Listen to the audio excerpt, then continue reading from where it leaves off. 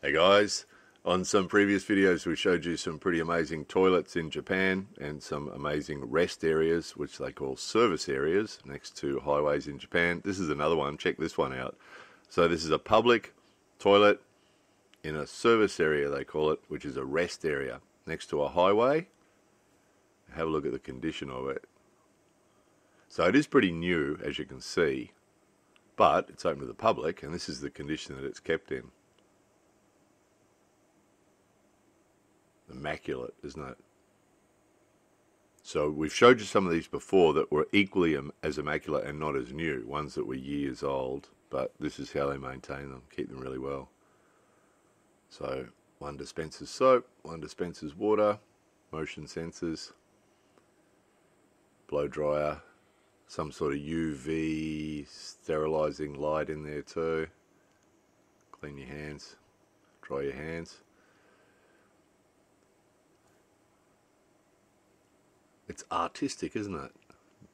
And then this is a, a, nursing room, so for mothers can go in there and, and breastfeed their babies, or anybody, mothers or fathers, can go in there and do the milk thing, the bottled milk thing.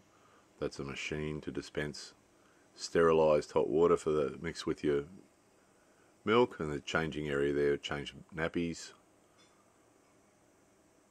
so these things make travelling in Japan an absolute pleasure. If you haven't seen the other ones that we've we've showed you before, that showed on videos before, go and check them out because they're just amazing. So big screens up there with all sorts of traffic information and news and things, so you can just sit in there and relax and have something to eat, watch watch the big screen, get some information on the local area. Family Mart convenience store, and then over here is a restaurant. So a noodle restaurant, a few other things that they have in there, bakery.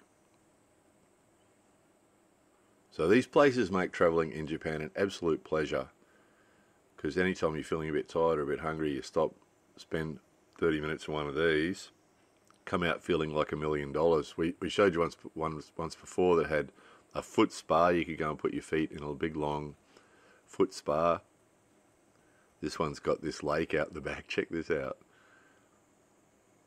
So it was a, a pretty hot day, but out there in the shade, overlooking the lake, was really, really pleasant.